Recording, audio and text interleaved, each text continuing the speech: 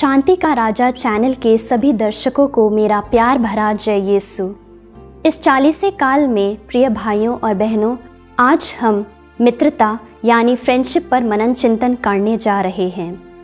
प्यार पाना, वह प्यार करना, किसी भी मनुष्य के लिए एक बहुत ही खुशी की बात है। यह उसकी बुनियादी ज़रूरत है। इस संसार में अपने अस्तित्व को महसूस करने के लिए हमें एक दूसरे की आवश्यकता होती है। इस जीवन की यात्रा में चाहे हमें अपना सुख दुख बांटने के लिए या फिर अपनी कठिनाइयों, समस्याओं एवं अपने अनुभवों को बांटने के लिए किसी न किसी की ज़रूरत तो होती ही है। कलकत्ता की संत मदर टेरेसा यह कहती है, इस संसार में अकेले रहना सबसे बड़ी बीमारी है। इस बात को हम पुराने व्यवस्थान में भी देखते हैं। उत्पत्ति ग्रंथ अध्याय दो, पद संख्या 18 में अदन की वाटिका में जब ईश्वर ने मनुष्य को अकेला देखा तो ईश्वर को अच्छा नहीं लगा। और ईश्वर ने कहा कि मैं उसके लिए एक उपयुक्त सहयोगी बनाऊँगा। इससे यह बात स्पष्ट होती है कि ईश्वर ने भी मनुष्य के लिए एक साथी की ज़रूरत को महसूस किया। हमें शारीरिक, मानसिक, आध्यात्मिक, मनोवैज्ञानिक तथा जीवन के हर एक पहलू में किसी न किसी की मदद ज़रूर होती है आगे बढ़ने के लिए। चाहे हम वैवाहिक व्यक्ति हो या फिर अवैवाहिक, बच्चे हो, युवा हो या बुज़ुर्ग, हर किसी को एक न एक साथी की ज़रूरत होती है, जिनके साथ वह अपने सुख दुख, अपने जीवन के अनुभवों को बांट सके। वर्तमान युग में इस रिश्ते को मित्रता का नाम दिया जाता है, लेकिन प्रिय भाइयों और बहनों मित्रता के सही अर्थ को आज हम पहचानने में बहुत बड़ी गलती करते हैं। सच्ची मित्रता आज लुप्त होती जा रही है। अपने चारों ओर एक नज़र डालकर देखिए आज की मित्रता पर।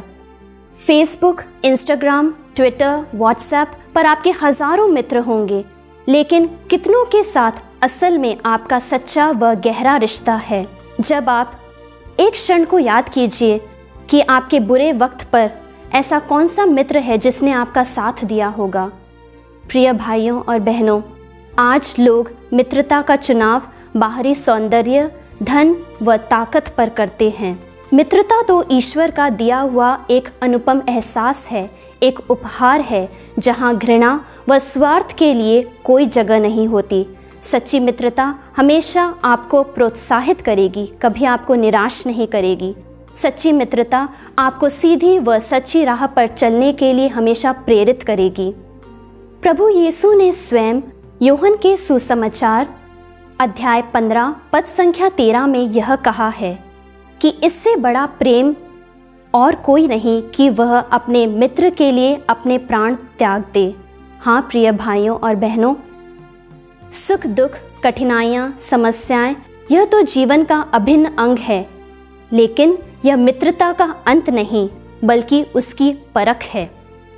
मैं मानती हूँ, आज के युग में सच्ची मित्रता निभाना कोई आसान बात नहीं, लेकिन नामुमकिन भी नहीं। प्रिय भाइयों और बहनों, यदि आप एक अच्छे इंसान हैं तो आप एक अच्छे मित्र भी साबित होंगे। मित्रता एक अटूट बंधन है, एक एहसास है, जहाँ माँ बाप भाई बहन सगे संबंधी सबका स्नेह समाता है।